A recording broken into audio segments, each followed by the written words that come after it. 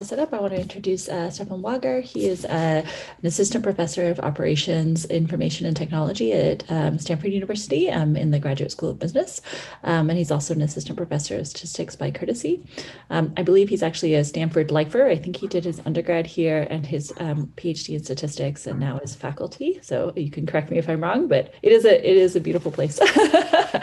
Um, uh, so his research lies in the intersection of causal inference, optimization, and statistical learning. Um, and he's particularly interested in developing new solutions to classical problems, kind of at the intersection of decision making, economics, and statistics that also um, kind of leverage recent developments in machine learning I'll say that um, I've had the pleasure, of collaborating with him and one of his students over the last couple of years, and it's been really exciting to get to sort of better understand um, some of the new insights from econometrics. Um, I'm still early in that learning process, but it's really um, exciting to hear about those other techniques, and that also we've been collaborating, uh, just to illustrate the range of the work that he's doing on um, some healthcare work now, um, and looking at uh, different questions around comparing supervised machine learning versus sort of causal counterfactual models.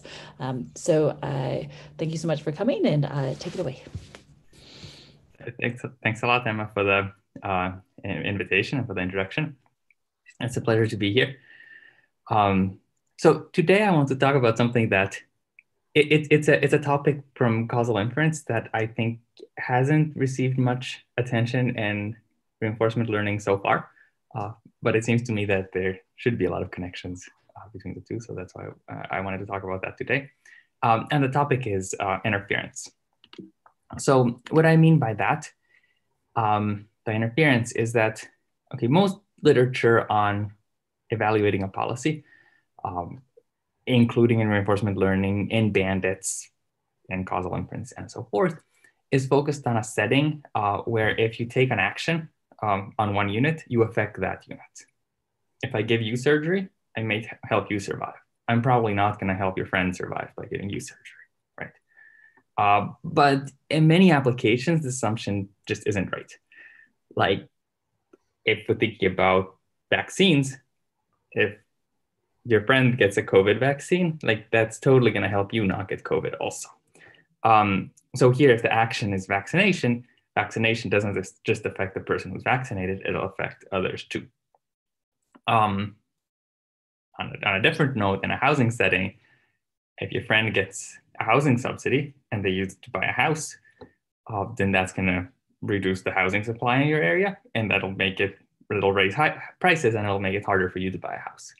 So there's just this kind of large class of application across different areas where an action taken on one person affects others too. And if you don't account for this, you're just going to mess up when you're estimating the effect, evaluating the effect of a policy overall. So what I wanted to talk about today is just at a high level, what are some good models for capturing this kind of interference? What kind of results can we prove in, in the context of these models and how much harder is interference to make policy evaluation? Uh, so in this talk, I actually won't be doing any RL, which may be kind of funny given the, um, given the topic of this session. But on the other hand, like what's RL, right? You have at least a single trajectory RL. You have a single trajectory, and in time, you have a bunch of action points where you can do something. And right, the whole problem in RL is kind of I want to understand how an action taken today affects me today, but also affects me tomorrow and the day after by changing a state or something. And what's interference? You have a bunch of units, they're not spread in time, they're spread in space. Um, and now kind of taking an action on one unit in space is going to affect other people elsewhere in space. Um, so in that sense, kind of interference is just the transpose of the RL problem. Of course, there are a lot of differences. In RL, you have this kind of temporal structure. You can write down an MDP. We're very good at that kind of modeling. Um, spatial interference, kind of other types of interference, the modeling work isn't as well developed, but uh, there should still be a bunch of connections. So, okay, uh, before talking about interference, I just wanted to kind of briefly say what is the kind of simplest thing you can do without interference, and that's kind of Neyman's analysis of the randomized trial. We want to see does giving you surgery help you survive? Well, what are we going to do? We're going to write down two potential outcomes: y0, y1. What would have happened to you without surgery or with surgery? Uh, and then the main result is that if assignment of surgery was random, then you can take average survival for people who got surgery versus average survival for people who didn't. And that's a consistent estimate of the average treatment effect, that is the average effect of surgery uh, on survival. This is very nice, highlights the central role of randomization. But what's very important here is that this notation kind of rules out interference kind of automatically. Uh, when I write down yi0, what this means is that there's no way that kind of your friend getting surgery could affect you in any way in this notation. Um, once we allow for interference, the world looks different. We don't just have two potential outcomes. It's not like you could have been treated or not treated, and that's what determines your outcome. There's actually, if there are n people in your study, there are two to the n treatment combinations you could give to those n people. And your outcome could in principle depend on all two to the n uh, treatment assignments. So now you have exponentially many potential outcomes in sample size, uh, which is kind of a problem. Uh, I, I, don't think it's possible to solve this in general, right? Uh, if you have linearly increasing sample size and you have exponentially increasing complexity, like what are you supposed to do? So in order to do anything, we need to make assumptions. We need to assume some kind of structure on the interference mechanism uh, so we can get rid of this exponential blowup. And we also need to carefully define our causal estimand uh, uh, or kind of the policy we want to evaluate in order to make progress. So today I want to talk about kind of two very different ways uh, of doing this. Uh, the first, I think this is kind of by far the most prevalent in the statistics literature, and this kind of generalizes the, the classical work on randomized trials nicely, is to kind of, you're going to assume a graph and you're going to use that graph to collapse down the space of two to the n potential outcomes you'd have to deal with usually. So we're going to assume that we have our n units. We're going to put them on vertices of a graph, and we're going to draw an edge between any two units uh, if treatment given to one can also affect uh, the other. So this is called network interference. I'm also going to pair it with this assumption of anonymous interference, which this is an assumption people usually make uh, in this model also. And this is that if you're node number four, uh, you have neighbors, your nodes are neighbors five, two, and three uh, you actually don't care about exactly who got treated among these three neighbors. You only care about what fraction of your neighbors got treated. So if you have 10 people you interact with, um, maybe you don't care about exactly who gets vaccinated. You just care about seven out of 10 getting vaccinated. And with this as soon as then your potential outcomes collapse, right? They just, now you depend on, they depend on uh, your treatment assignment and the average treatment assignment for your neighbors. This is kind of a special case of what Aronow and Samii call an exposure mapping. And kind of now, now we're in business. Um, we still need to define a causal estimand, uh, but here there, there are many reasonable things you can do. Um, one natural way to decompose this is that you can define, if we're thinking about vaccination, you can think about the total effect. Uh, so this would assume like how much would the kind of average number of cases of a disease go down if you go up from vaccinating 60 to 70% of the population. Um, then you can talk about the direct effect. Given the current situation, what is the protective effect for you getting vaccinated yourself on your own avoidance of the disease? And then there's the indirect effect, which is kind of every way you benefit from the vaccine that's not captured by the direct effect. Um, and the sum of the direct and indirect effects is the total effect. And this connects nicely to kind of what we usually do because the direct effect, in, in the case of a randomized trial with no interference, the direct effect is just the average treatment effect, whereas the indirect effect is zero. And like the presence of interference means that the indirect effect becomes non-zero. And like I said, this is kind of a pretty popular model for doing interference in both statistics and econometrics. So there's a bunch of work on this. Uh, in the case of the direct effect, I mentioned kind of the direct effect is the thing that in a randomized trial just becomes the average treatment effect we're used to estimating. And there's here I just put in some of the most recent references, but these have references to older stuff also. Uh, Sävje, and Hudgens show that essentially if you pretend that you have data from a randomized trial, uh, but you actually have interference, then you're going to end up estimating the direct effect and you, they give some bounds on how fast you estimate the direct effect. This D depends on the degree of the graph, so they show that you're generally going to be consistent if you're not too dense, but the denser the graph, the worse your bounds get. and for the indirect effect, it's harder as you might expect, but there are still some results in kind of specific models. Okay, I kind of, I guess I pitched this as a, as a general kind of overview talk, but I also of course want, do want to talk about some kind of recent things I've been thinking about in this space uh, that, that I'm excited about, maybe kind of connect to some uh, mathematical ideas others in this community have been looking at. So, so one thing I've been thinking about recently here are these bounds. Um, they, they're all in the setting where kind of first you place your node, your units on the vertices of a graph, then you draw some edges between them, and then you try to do analysis that would be valid for any graph. Um, and I guess we know like there can be some weird graphs and difficult graphs to deal with. So what we wanted to ask is like, can you do better if you kind of focus on some typical graphs as opposed to just kind of arbitrarily bad graphs? Um, and here kind of there's a lot of literature on kind of probabilistic or random graphs. And can we use results from this literature to kind of make progress? So as kind of a first step in this direction, um, we looked at one specific generative model for graphs. Uh, this is the graphon. So just very quickly, we essentially assume that any two nodes have a type and given two types of nodes, there's some affinity.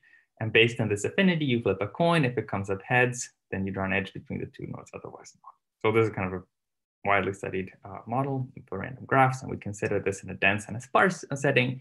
And we just wanted to see how well can you estimate direct and indirect effects um, in this kind of setting.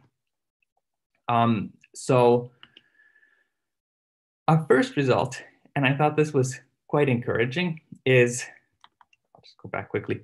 Uh, remember for the direct effect, we have general results showing that kind of familiar estimators for the average treatment effect in randomized trials are consistent for the direct effect. But this paper, it doesn't give a distribution of this estimator and it gives some bounds for the error, but these bounds generally get worse in dense graphs. Um, on the other hand, what we show is that if we're willing to make these graphon generative assumptions, um, then not only do we get consistency, but we get an exact distributional result. We get a central limit theorem. Um, and actually your rate of convergence doesn't depend on how dense the graph is. Whether you're dense or sparse, you always get root n rates of convergence for the direct effect. Um, and the kind of variance inflation you get due to interference is this term QI. It depends on the graphon in this kind of way that you can write down. Um, so this was kind of a first encouraging result showing that kind of interesting stuff does happen under interference and, and kind of depending on how you model, you might get kind of much more optimistic looking results uh, than you'd think otherwise. Um, you, could you give us a brief intuition for why it shouldn't explicitly depend on the degree of? Yeah, so so I, I know like your first intuition would be right, like the more neighbors you have, like surely the more noise there should be. But now one thing that's doing a lot of work is here, we don't care about, if we're looking at vaccination, we don't care about exactly the identities of your neighbors who are vaccinated. We just care about what fraction of people you talk to are vaccinated.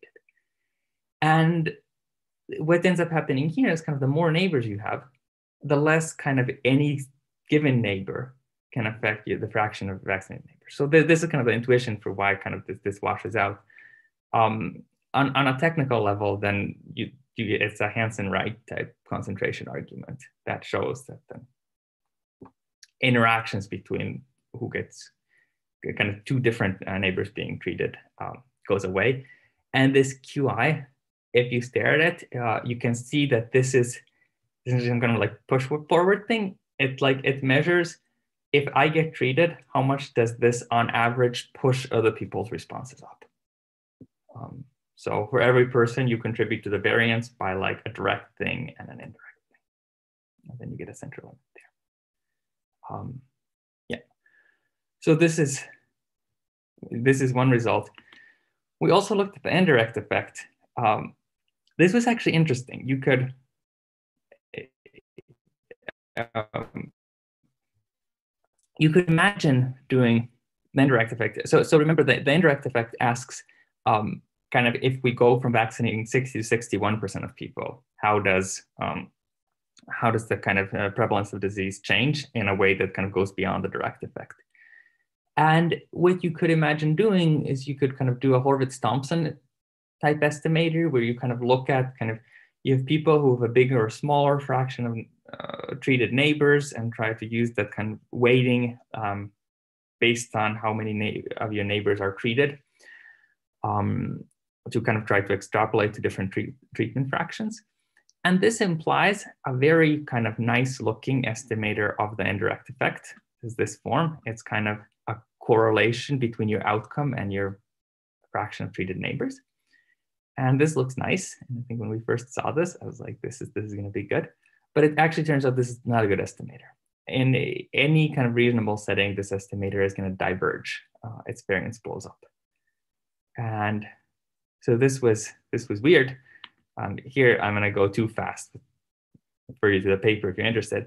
Turns out kind of when you look at this in detail, the variance blows up. Uh, but all the problematic variance is kind of in direction that's aligned with principal components of the graphon.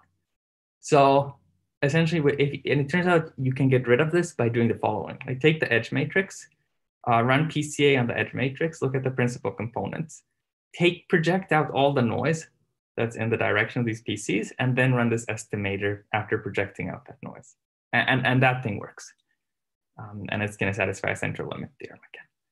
Uh, here your rate of convergence is going to depend on the sparsity. Um, the sparser the graph, the better you're going to do. Okay, uh, so this is something you can do here also. But okay, so this was one model, network interference. It kind of lets you very directly add potential outcome, like add interference into the potential outcome model. You can put structure on this interference thing. And then you can prove some results in general. You can prove stronger results under random graph assumptions. I, I think this is kind of a, it's statistically a very nice model. I expect there to be much more to say about it. Um, uh, but so this is one way to capture interference effects. Um, I promise though that I wouldn't just give one model, I'd give kind of talk about different ways of incorporating interference. And talk, I mentioned housing subsidies earlier. Um, another version of this that gets, gets a lot of attention in economics is in understanding the effect of agricultural subsidies. Um, if I subsidize one farmer, uh, they're probably going to produce a lot more corn. Uh, if I subsidize all the corn farmers, uh, they're going to produce really a lot more corn. Uh, this is, but demand is what it is. Uh, so this is gonna uh, reduce the price of corn, and this is gonna yield smaller effects. Kind of, if you want to understand the effect of subsidies, you need to you know, be able to capture this kind of interference effects. This is kind of a very generic phenomenon in any kind of economic. And what happens here is there's clearly interference, right? Subsidies, actions taken on some people are also going to affect outcomes for others. But maybe here network interference doesn't feel like such a natural tool anymore, right? Because essentially there's no network structure. I don't care which farmer is producing more corn. I just care that more corn is being produced and that this depresses prices and I can make less money by producing corn. So there's no network structure, but interference is mediated by something else that we also understand well, right? Interference is mediated by prices that come from kind of matching supply with demand. And what can you say here? Uh, so now we'll do this differently. Instead of kind of trying to build a, a more general theoretical results, I'll just talk about something we did in a very concrete application. Uh, uh, we're kind of motivated by very concrete application. This is, uh, suppose you have a platform that's um, trying to kind of connect freelance labor uh, with a demand for labor. And they're trying to optimize incentives for workers to join the platform. Um, if you want to think about this in terms of kind of a familiar application, you could think of like Lyft figuring out how much to pay drivers uh, to drive the Lyft, but it's kind of um, applies to any freelance uh, work platform. And so here we're going to assume a model where in every time period, uh, the platform can learn over time. And in every time period, the platform first kind of chooses how much to pay people, uh, how, how much willing to pay people to work, uh, then kind of given this payment, potential workers think um, how much are they going to get paid, they're also going to look at kind of if they do choose to work, what's the chance, say if they're driving for Lyft, that they're actually going to get to drive or that they're just going to sit there idle uh, with no one asking for a ride. And then they kind of look at their expected revenue. Uh, they compare that to an outside option. And then they choose to join the platform. And we're going to assume that the system is in equilibrium. So this is just kind of a very concrete model that kind of gives rise to these equilibrium effects I was talking about earlier. If you pay some people more, you make them more likely to work. Oh, that means that they're going to soak up more demand, so that leaves less demand for others. And when you're trying to choose an optimal policy, you need to account for those effects. So yeah, any any approach to learning should account for cannibalization effects. Um, how can you do this? there are essentially uh, two two approaches uh, that I'm aware of. Uh, one is you could just kind of every day try different policies and and deploy them globally. Uh, you could today you could try to kind of pay everyone fifteen dollars per unit of work, and tomorrow you try paying everyone twenty dollars per unit of work, and there's no interference because you're always intervening on everyone, so that's fine. Or there's kind of no bias from missing interference because you're always uh, intervening on everyone. So that's good. The downside is you essentially have a very small sample size because every time you take an action, you have to intervene on everyone. And if there are kind of any kind of idiosyncrasies by day, like there's a supply increase or uh, decrease that day, uh, that noise hits you very hard. Uh, I should mention this is a special case of derivative-free stochastic optimization, which is something that's been studied a lot in the in the uh, bandit literature. Or then the question is, can we do something better by actually thinking about where this interference is coming from? It's coming from kind of price equilibrium effects. And so then can we use equilibrium modeling to kind of fix gradient descent and do something more uh, uh, familiar gradient optimization type uh, stuff here.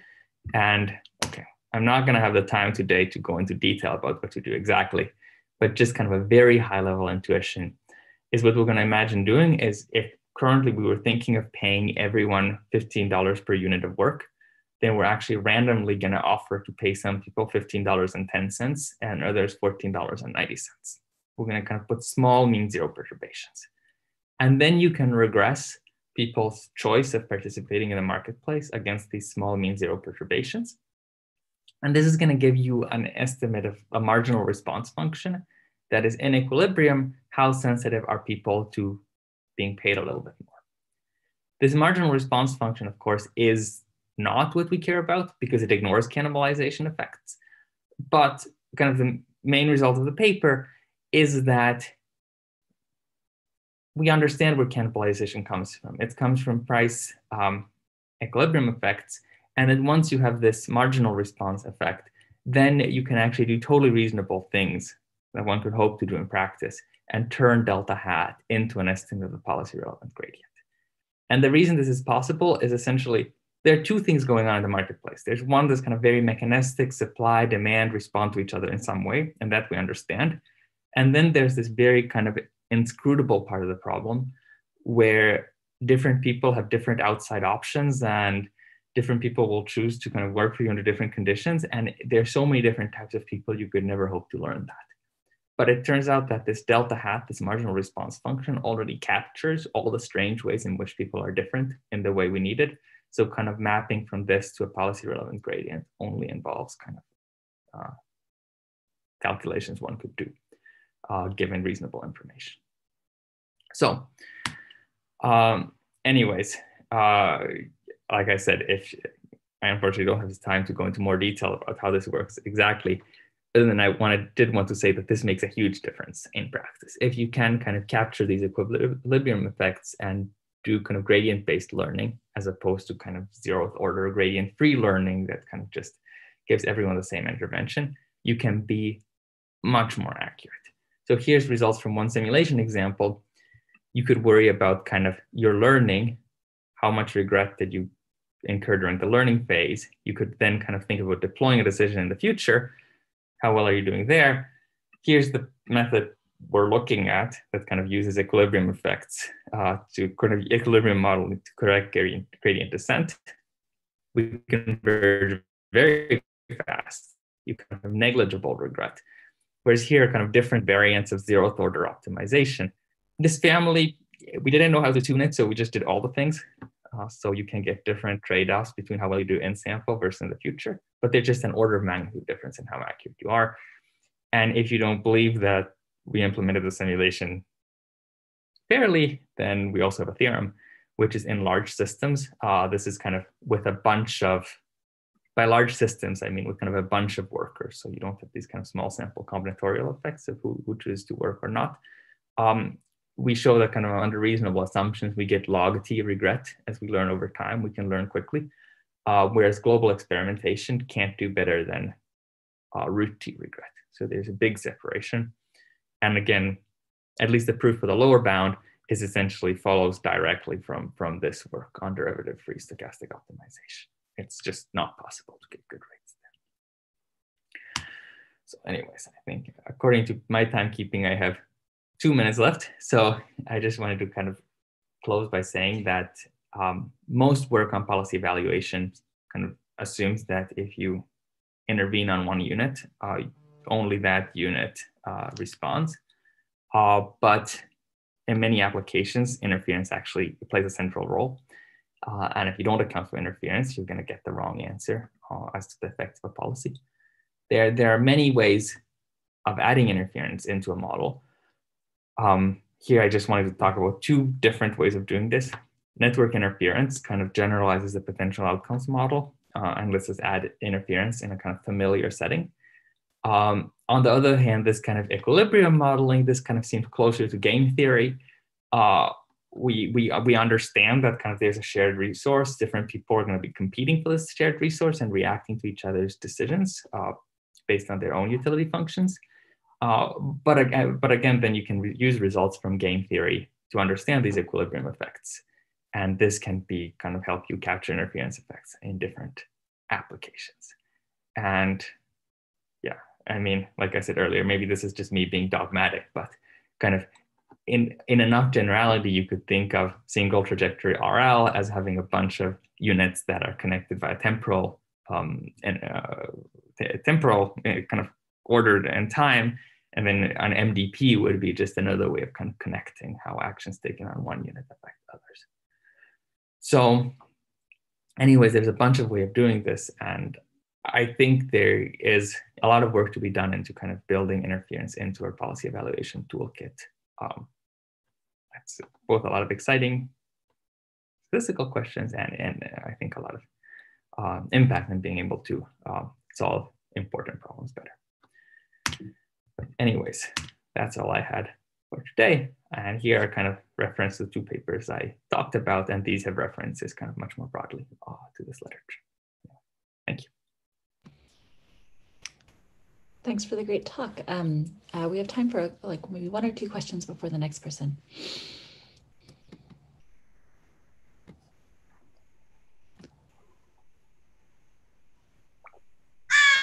Yeah, can I ask a quick question? Um, uh, excellent talk, Stefan. I think this is an excellent uh, problem to study. Um, so I'm wondering what, what is the connection to say multi-agent reinforcement learning with like uh, say uh, agents as large as n? So it looks like uh, you are incorporating some uh, specific assumptions on how how these um, like a large number of agents are, are interacting with each other. Yes, um, exactly. I I, I should, in, in asking this question, you probably have some specific references in mind that I'm not familiar with. So, I, if you if you have something like that to, to, to share, I'd be very happy to take a look. Uh, mo- most of kind of uh, when I was thinking about this, I've been thinking about kind of from the perspective of the causal inference and economics literatures on this kind of stuff. Um, I was just referring to the talk yesterday by by, by Dimitri. Sorry, unfortunately, I, was it's it's I, I wish we could have all been in person because then it's much more easy to just sit there but now it's still like the usual meetings are still there so i haven't been able to watch that video yet unfortunately. Yeah another thing is that i, I think it it's might make sense to think about in the network setting to think about say stochastic block models or uh, mixed membership stochastic block models and so on. So so you can like work on the groups and different groups of agents so you don't have to to deal with a really uh, huge number of agents So that, that could be a promising direction, I think. So, so in the in the network setting, right, the, the Graphon model we're looking at, that's generalized Oh, I see. stochastic block model. I see. So, and, and in the paper, many of the examples we have are for the stochastic block model because that's Okay. just like very Awesome. easy. Okay, so I guess we need to move on to the next speaker. Um, is Mihailo there? Um, Hey, Sean. hey, Stefan. So if you could stop sharing your screen and let Mihailo um, go in. Yeah, thank you.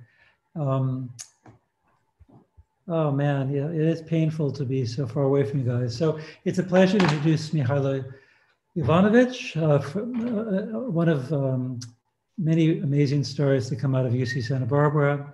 Uh, Mihailo